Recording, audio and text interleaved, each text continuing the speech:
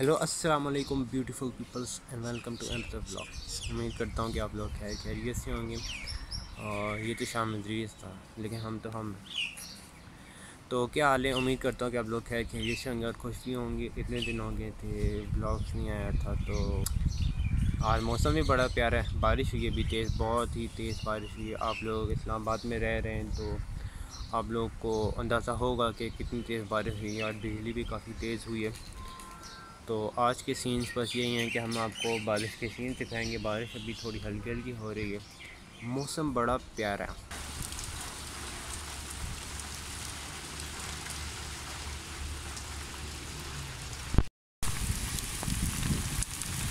अभी मैं ऊपर आया हुआ था तो बारिश अभी ख़त्म हुई। तो अभी मैंने देखा, बिल्कुल सारा जब बारिश हो जाती है ना तो सब कुछ जो भी होता है ना इन्वायरमेंट होता है, आपका पौधे होते हैं, और भी बहुत कुछ चीज़ें होती हैं। वो बिल्कुल नीट एंड क्लीन हो जाती है। अच्छा लगता है यार। बिल्कुल मतलब दिल को, दिल जैसे बाग बाग सा हो जाता है। आपने ये तो सुना होगा, उर्दू की बुक में आपने बहुत सारा ये पढ़ा भी होगा बचपन में, कि दिल गार्डन गार्डन हो गया इस टाइप का ना। होते हैं तो आपको हम दिखाते हैं, दरख्त तो मैं ना ये सामने एक दरख्त लगा हुआ है। तो मैंने नोटिस किया कि यार बहुत ही फिट चीज़ लगी, आप लोगों की फेवरेट चीज़ लगी होगी। तो चलिए आपको दिखाते हैं।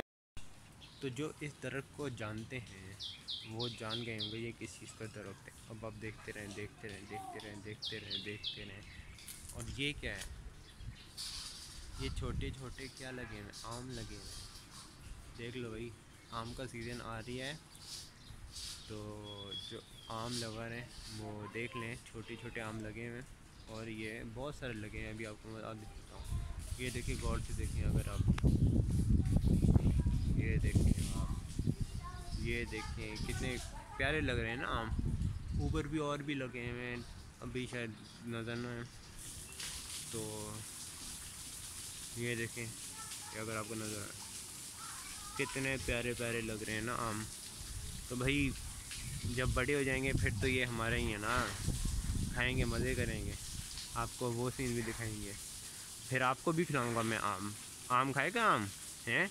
ये लिखा तो यार आपने देखे, आम लगे हुए हैं। बहुत प्यारे आम लगे हुए माशाल्लाह से। अभी अभी ख़त्म हुआ है सीज़न लोकार्ड का। लोकार्ड का भी दरख्त है। तो लोकार्ड लगे हुए थे, बहुत ही प्यारे लगे थे। येलो येलो जब पहुँच जाते हैं। ऐसे लगते हैं कुछ गोल्डन चीज़ चीज़ लगी हुई हो। सोना लगा हुआ जैसे दरख्त में। तो जो कहते हैं ना, दरख्त में सोना लगा होता है कहीं तो ये लगा होता है, लोकाट लगा होता है। तो एक मेरा दोस्त है, उसका नाम लोकाट है। तो उसको सारे प्यार से लोकाट लोकाट कहते हैं, क्योंकि वो लोकाट बहुत खाता है। जिधर भी लोकाट के दरख्त देखते हैं ना, खाते हैं। उस दिन भी हम एक जगह पे खड़े हुए थे। बल्कि मेरे घर के नीचे ही खड़े हुए थे। उस दिन मैंने एक दरख्त लगाया था, छोटा सा पौधा लगाया था लोकाट का।